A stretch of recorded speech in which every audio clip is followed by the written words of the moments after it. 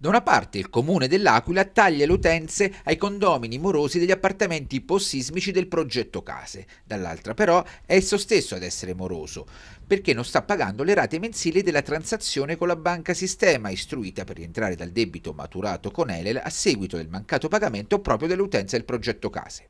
A denunciarlo sono i consiglieri comunali di Noi con Salvini, Emanuele Imprudente, Luigi Deramo e Daniele Ferella, che chiedono la convocazione urgente della Commissione consigliare programmazione e bilancio bilancio per far luce su una vicenda, spiegano, che potrebbe avere risvolti devastanti nei confronti dei conti economici già trapallanti del comune e del patrimonio comunale. Ho fatto una richiesta urgentissima di prima commissione eh, consigliare, quella programmazione bilancio e ho sentito anche ovviamente il Presidente Giustino Masciocco che si è impegnato a convocarla all'inizio della prossima settimana.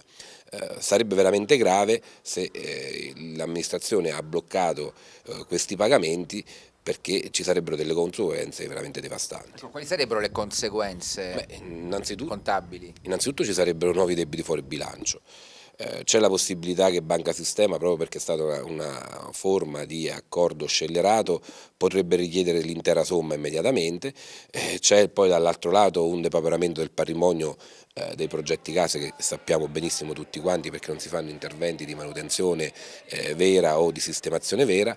E quindi è, tutta, è una vicenda questa dei progetti case che come avevamo anticipato ormai da anni e come stiamo dicendo tutti i giorni da anni è una vicenda che potrebbe portare al dissesto dell'amministrazione.